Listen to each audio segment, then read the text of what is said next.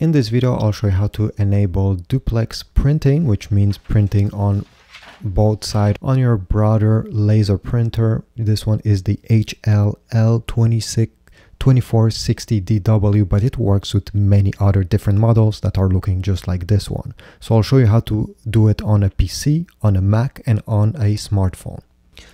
So on your PC, open the file you want to print, then select the print button then press properties once your printer is selected. And over here you have print on both sides. Usually it's none. If you want to print on both sides, you're going to select here and select flip on the short edge or flip on the long edge. Usually most people will choose the first one, flip on the short edge. Select this, then press OK, and then press print.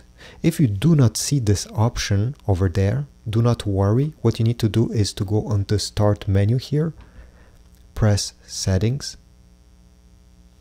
then press devices, then go uh, over here where it says printers and scanners. In this list, find your Brother printer, click on it, then click on manage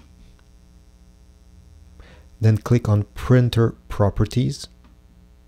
From here, you're going to select device settings. Over here, you may have a tab which is named installable options. And one of the options should be duplex. Click on it. Usually it says not installed and it will install this feature and you will be able to print finally on both uh, sides of the page. On a smartphone, if you're using the Brother app to print, this one is the Mobile Connect, Brother Mobile Connect app. You may also use the Brother iPrint and Scan. This is an older app for older printers. Mine is this one. So once you're on this page, right before printing, click on this settings icon on the lower right side. And from here you have two-sided. Click on this and you will be able to select the same options, flip on the long edge or flip on the short edge. Select one of these, go back, go back,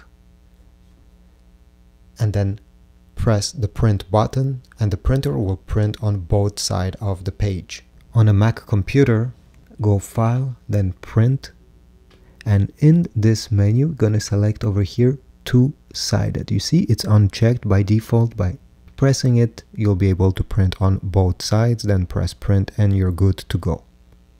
So I hope this tutorial was helpful. If so, please leave a like, subscribe, comment down below if you have other ways how to activate this feature and I'll see you in the next video.